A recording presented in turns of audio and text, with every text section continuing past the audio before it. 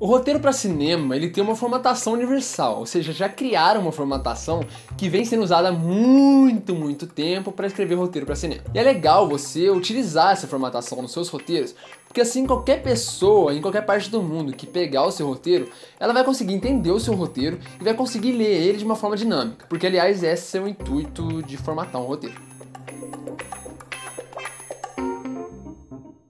Aliás, com essa formatação universal, a gente consegue mais ou menos prever o tempo do seu filme. Na formatação a gente conta como um minuto por página. E para te ajudar nisso, existem alguns programas específicos para escrever roteiro para cinema, que o seu roteiro já vai sair formatado na formatação universal. O primeiro, que é de graça inicialmente, é o Celtics. Ele é muito intuitivo, muito fácil de usar e muito leve, é um programa muito tranquilo de se usar. E o legal é que com ele você consegue aprender a escrever essa formatação universal. Aliás, foi assim que eu aprendi, foi vasculhando no Celtics e entendendo como que funcionava essa formatação. Seguindo essa mesma linha de raciocínio, temos o Adobe Story, que também é de graça inicialmente, mas para alguns vários recursos dele, você precisa ter uma assinatura do Adobe CC. O Adobe Story ele já é um pouco mais profissional e com isso ele fica menos intuitivo e um pouco mais complicado.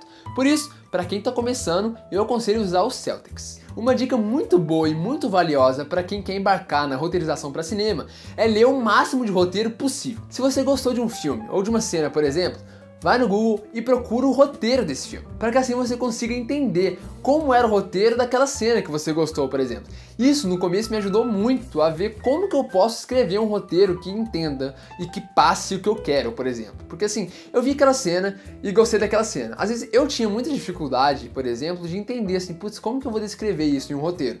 Então eu comecei a fazer esse exercício. Eu vi um filme e gostava da cena, ou então gostava do filme inteiro. Eu ia no Google e procurava o roteiro para entender como que é a formatação e como que o roteirista escreveu aquela cena e o diretor entendeu. E tem alguns sites na internet que eles já têm um, um amontoado gigantesco de roteiro para você só procurar e baixar. Eu vou citar dois aqui. Um é o Screenplays for You, e o outro é o Simple Scripts. Lá dentro desses dois sites já tem vários roteiros de filmes consagradíssimos, que é só você procurar e baixar. É bem tranquilo de usar. Vale lembrar que nesses sites os roteiros eles estão em inglês. Então se você não sabe inglês ou então não quer ler o roteiro em inglês porque você não vai entender muito bem, vale a pena você procurar no Google o roteiro traduzido que você está procurando. Eu já achei vários roteiros traduzidos. E a última dica, fugindo da parte técnica, são alguns recursos online para você melhorar o seu roteiro. Uma boa é o curso Writing 101 do Seth Worley. Esse curso foi produzido pelo Film Riot e ele custa em torno de 55 dólares. Eu paguei 10 dólares no meu quando eu comprei. Foi numa promoção da Black Friday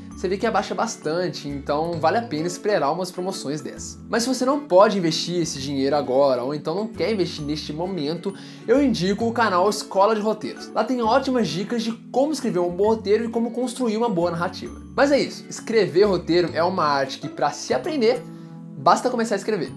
Um ótimo exercício que eu fiz e foi muito bom para mim é escrever um roteiro por semana.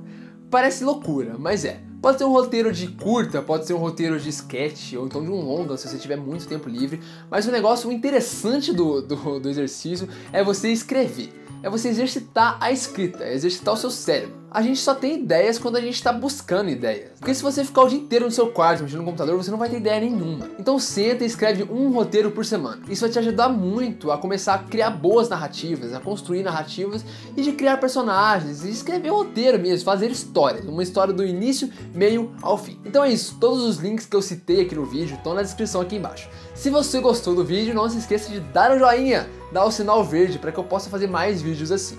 Se você ainda não é inscrito no Cinemático, cara, se inscreva aqui embaixo, não perca tempo e me ajude com esse canal para que a gente possa aprender sempre mais. E o mais importante, comente aqui embaixo o que você achou desse vídeo. Se você tiver algum roteiro que você quer que eu leia, comenta aqui embaixo, ou então quer que, você, que outras pessoas aqui do Cinemático leiam, comenta aqui embaixo, coloca um link no Google Docs, alguma coisa assim, para que eu possa acessar o roteiro e ler. Ou então, pode mandar por e-mail, o e-mail tá aqui embaixo também. Então é isso, eu vou ficando por aqui, um grande abraço